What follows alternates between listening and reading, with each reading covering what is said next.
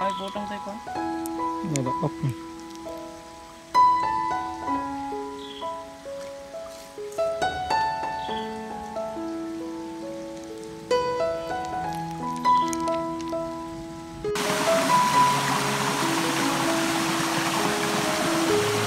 Đây là thả nha mọi người.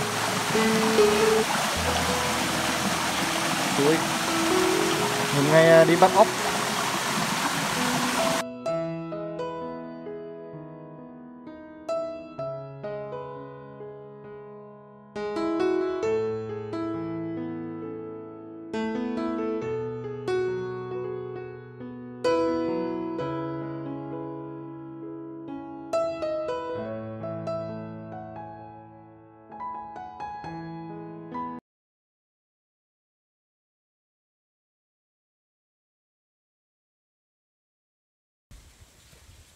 Không biết là mọi người có thấy cục đá này không?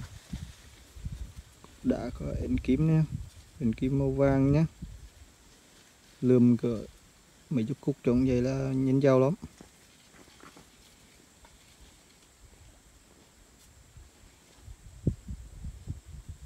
Bỏ dưới được lên nó có ấn kim đi này ấn kim vàng, chọi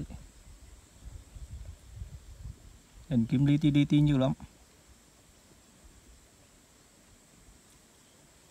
Ừ.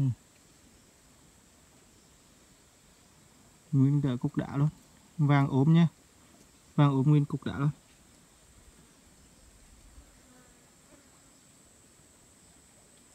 Rất đẹp.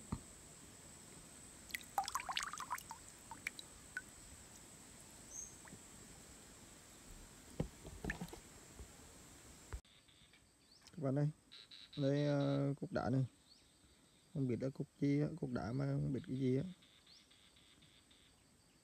Đây. Nguyên cái cục đá luôn.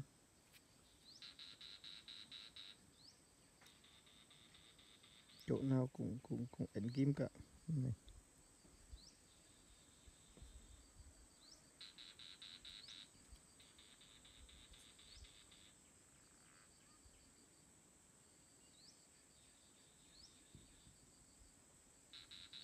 Mười cục giống vậy là giàu lắm.